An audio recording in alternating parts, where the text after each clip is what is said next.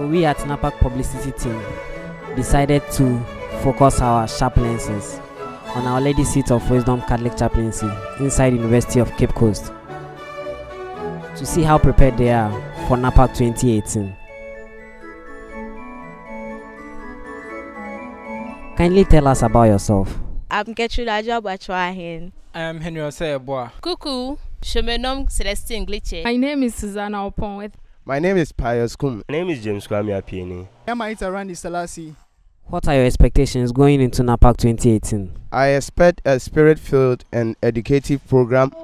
I hope to meet new people and then also develop a kind of bond with the continuing students and also hope that PAX grows to be the best, you know. My expectations for NAPAC 2018 is to enjoy myself to the maximum point. Make sure that I socialize, meet new people, and have fun myself while praising the Lord. I expect a huge number, better than the one we had at NAPAC 2016, and we hope that the blessings that will be obtained will be shared amongst us all.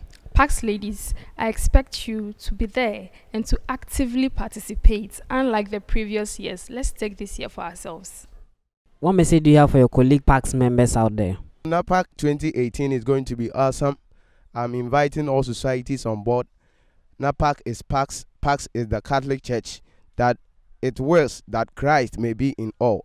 Je serai là, alors j'espère te voir aussi. Come and let's have a great encounter with the Lord. NAPAC 2018, fear not. His grace is sufficient for all. NAPAC 2018, grace abounds. Anticipate.